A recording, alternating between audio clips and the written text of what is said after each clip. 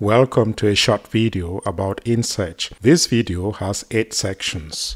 A welcome and about us, our mission, our vision, our team, our services, our portfolio, and a contact us section. First, a welcome word from the president, and I'll read that for him. A lot has been said about different development efforts targeting the African continent. Many people and different development agencies advocate for different kinds of models. Our model targets education, and not just any kind of education. You may wonder why education. We target the education that increases hands on training, for it is only through mastering the transformation of theory to practice that the African youth can master the process of applying knowledge gained in school to empowering economic change on the continent. And who are we? We are InSearch, that is a short form for International Network for Research and Development. We meet mainly by telephone conferences and by using other web services. As such, our members originate from different parts of the world and source mainly from the African diaspora. We, however, welcome everyone, no matter the origin, who is out to make positive change in Africa through the use of science and technology. Our primary mission as such is to empower development in Africa by increasing the number of hands-on experts on the continent. And what has been the outcome for the past five years? We have supplied equipment for biomedical research to five laboratories in Cameroon. We've built a state of the art laboratory for renewable energies in Cameroon, and we've organized seminars around the year to train postgrad students on skills for analyzing and communicating scientific data. Our mission globally is to create enabling environments for the nurturing of the next generation of African entrepreneurs who mainly will transform the continent by using ideas of science and technology. We therefore base our mission on increasing hands-on training in STEM subjects. We locate partners in the developed world and on the African continent, and we source science and technology equipment from donors and from sponsors. We build core centers. In doing this, we identify partner institutes on which core laboratories can be built, which can be accessed by African students from across boundaries and from different African countries. We also provide great support to such core centers so that they become sustainable. We provide support in developing curricula for hands-on training over many years. We also provide opportunity for growth by partnering with local authorities and businesses to advocate for places in science and technology in economic development on the continent. Our vision, our vision is in the next 5 to 10 years to see an Africa in which we'll have practice-driven schools where we'll have core centers in which students from different countries who come and train in different aspects of science and technology, and an Africa in which we'll have sustainable support from the diaspora in creating a viable network of knowledge and technology transfer environment. And we intend to see an Africa in which economic growth will be done within the framework of Africa's new scientific and technological revolution. Our team, we have a team made up of different experts. First, here, our executive team. We have our executive team made up of a president, a vice president, and a treasurer. And next, the different sub teams, and just name a few people and link them to specific departments so that you know what we do. The first is the biomedical team, and here we have people who are in pure medicine to people who are in biological research. This is the team that led to the transfer of biomedical equipment to Cameroon a few years ago, and they also take part on the ground on active seminars and on some conferences and teaching.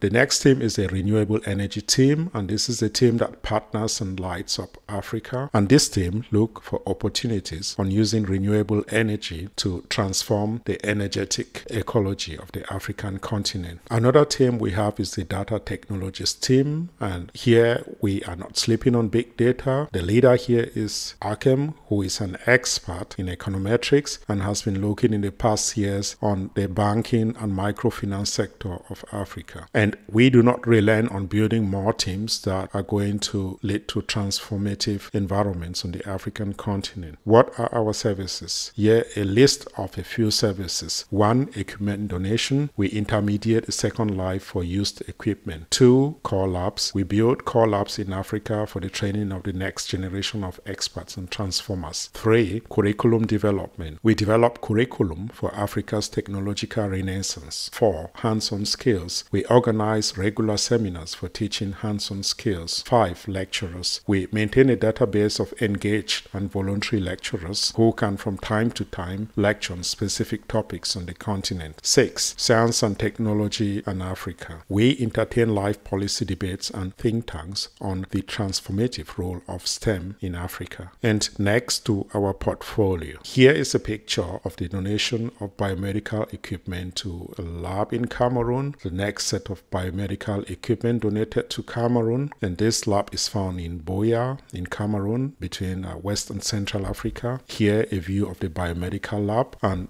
the next in Cameroon, installing a lab for renewable energies. And here is the installation after building up. This is a view of the lab and the people who were present during the installation. And a couple of things that are found in the lab. We have a photovoltaic experimental trainer for students so that they could know what photovoltaic energy is and how they can be configured.